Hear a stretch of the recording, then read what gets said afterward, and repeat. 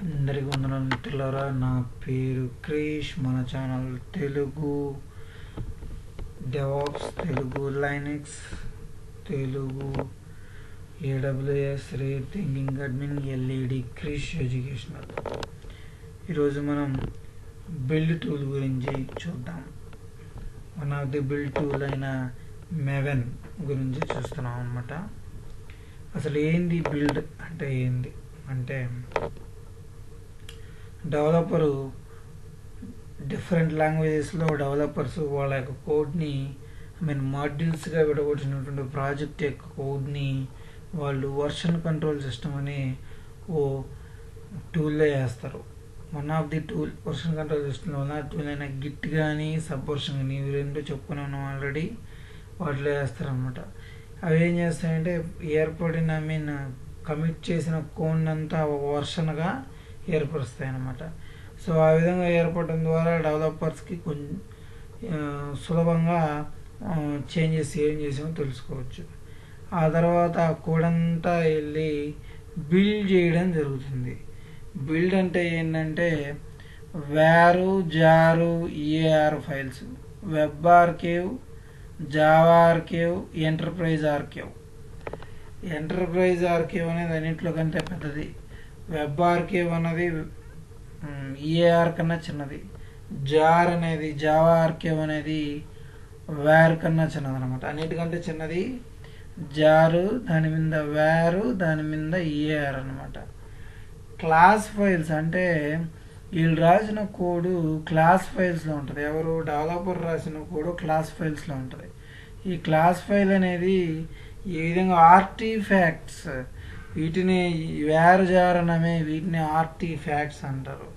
ఈ RT ఫ్యాక్ట్స్గా మారేదే build ఈ ఈ విధంగా ఆర్టీ ఫ్యాక్ట్స్ కింద మారడానికి ఉపయోగపడే టూల్స్ని బిల్డ్ టూల్స్ అంటారు.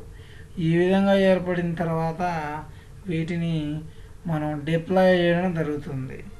ఈ డిప్లాయ్మెంట్ అనేది వెబ్ సర్వర్స్లో అప్లికేషన్ సర్వర్స్. అప్లికేషన్ సర్వర్స్ అయిన వెబ్స్పేరు వెబ్ లాజిక్ అదేవిధంగా I mean application servers WebSphere web WebLogic web servers అయినటువంటి టామ్ క్యాట్ వీటిలో డిప్లాయ్ చేయడం జరుగుతుంది యాజ్ పర్ క్లయింట్ రిక్వైర్మెంట్ అనమాట దీనికంటే ముందు జే యూనిట్ అంటే యూనిట్ టెస్ట్ అనేది చేసుకుంటారు డెవలపర్స్. అలా సిస్టమ్ టెస్టింగ్ అని కూడా జరుగుతుంది. అంటే టెస్టర్స్ దీన్ని చేసి ఆ తర్వాత చివరిలో ప్రొడక్షన్స్లో తీసుకెళ్ళి వేస్తారనమాట సో దీన్నే బిల్డ్ ప్రాసెస్ అంటారు.